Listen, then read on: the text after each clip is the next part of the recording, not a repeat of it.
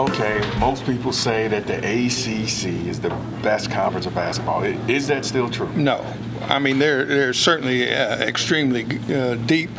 Uh, but you know, I, I think most folks would, that serious basketball folks that don't just listen to the talking wonks. Uh, well, you know, the Big 12 has certainly uh, been probably the top conference the last couple years uh, in terms of depth and, and teams. You know, West Virginia, uh, Oklahoma was not doing well this year, but still Baylor, Kansas, all those teams are still uh, pretty strong.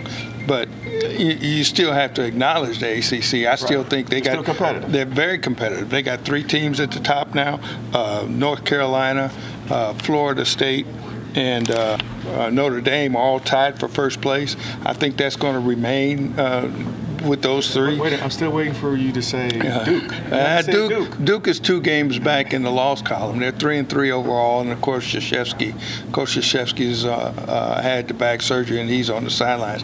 They're still a wild card player. I mean, they're still an NCAA tournament team. Don't get me wrong there, but I think they'll, you know, they got a lot of games left with with uh, the front runners to determine just how high up the totem pole they're going to get.